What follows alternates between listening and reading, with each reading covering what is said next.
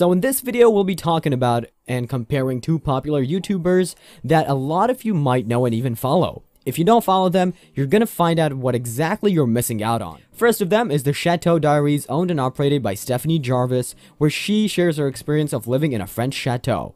The channel has hit 197,000 subscribers ever since it was created back in 2018. Stephanie bought the chateau in 2005, pulling in with her friend for a whopping 590,000 pounds. She admits in a video of hers being anxious after making the big purchase because the amount needed to finance a chateau that big was far more than what they had estimated. After getting into the whole thing renovated and redesigned in their own way, they plan on turning it into a bed and breakfast. Unfortunately, 2020 happened and the lockdown ruined their plans, so Jarvis, who already used to make vlogs, decided to turn to YouTube for full-time earning. Oops, we forgot about our second guy. It's hard to be doing all the work by ourselves. But not from Michael Petherick, of course. He is the mind and soul of doing it ourselves. This channel was started in 2012 and has 235k subscribers since.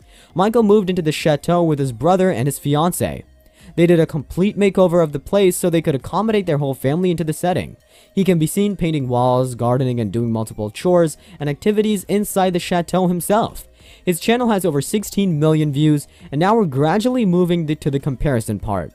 If Michael's channel has 16 million views since 2012, can you make a rough guess of the total views Stephanie's channel would have got given she started much later than Michael in 2018? 57 million. That doesn't sound believable, right? But it is true. Maybe the reason her channel clocked a higher viewership than doing it ourselves lies in her style of vlogging and the difference in presentation. Stephanie comes out really vibrant and enthusiastic and prefers to shoot more in the open lawns. On the other hand, Michael prefers to shoot most of his videos indoors. Also, there's quite a time gap between Michael's videos. Like, he takes weeks to upload new ones, while Stephanie is more active and uploads new videos within a few days. So the frequency of uploading obviously works out well for the Chateau Diaries. Also, Stephanie Jarvis shoots videos outside the chateau too. Perhaps that's the quiet extra she does for her audience. Doesn't let her audience get bored by giving them a sneak peek into her life outside the chateau. Did you know there's a connection between the two? Both of them are from England, living in chateaus and fond of antique collections. They're in fact quite well acquainted with each other. This has often led to their fans to believe they're actually in a relationship, but those are just cooked up stories. All we know is that they're great friends who met at the ETTC DIY program.